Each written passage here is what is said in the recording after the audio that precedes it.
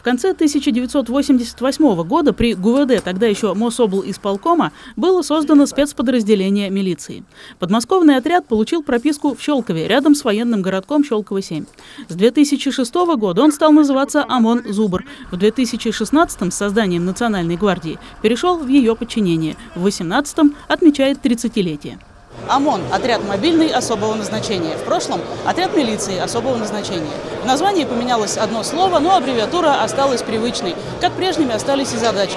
Обеспечение правопорядка и безопасности граждан на улицах и во время массовых мероприятий, а также противодействие терроризму. Наша задача – это обеспечить безопасность наших граждан и безопасность нашего государства. Контртеррористические мероприятия на Северном Кавказе, освобождение заложников на Дубровке в 2002 обеспечение безопасности на Олимпиаде в Сочи и чемпионате мира по футболу, оказание силовой поддержки подразделениям МВД, прокуратуры, таможни. Только в этом году личный состав «Зубра» принял участие в проведении более 100 спецопераций. Подмосковные ОМОНовцы несут службу во всех регионах страны, но и на родной Щелковской земле, конечно, тоже. Администрация Щелкова помогает жизнедействию подразделения. Отряд участвует в жизни города, привлекается при проведении каких-то общественно-политических и праздничных мероприятий э, в городе Щелково. Очень много сотрудников отряда проживают и являются, скажем так, жителями города Щелково. Так что город Щелково для нас это родной город. В торжественном собрании в Щелковском театре приняли участие представители руководства Росгвардии, органов госвласти и местного самоуправления, ветераны ОМОН. О непростых первых годах отряда вспомнил его первый командир Сергей Сильверстов.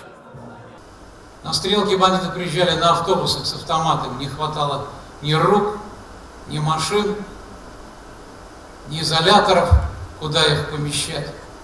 То есть захлестнула волна преступности, именно вооруженная. Сегодня ОМОН «Зубр» в системе ведомственного спецназа имеет особый статус. Это отметил в своем приветственном адресе главком войск Нацгвардии Виктор Золотов. ОМОН «Зубр» всегда был в эпицентре масштабных событий и массовых мероприятий, безупречно исполняя свой служебный долг. По праву завоевала лидирующие позиции среди специальных подразделений нашей страны. На протяжении всей службы отряд, к сожалению, нес потери. Минутой молчания почтили память семерых погибших бойцов, в числе которых два героя России. На торжественном собрании прозвучали поздравления от губернатора Московской области, полномочного представителя президента в Центральном федеральном округе. Отличившимся сотрудникам вручили наградное оружие, медали за заслуги в укреплении правопорядка, грамоты и ценные подарки.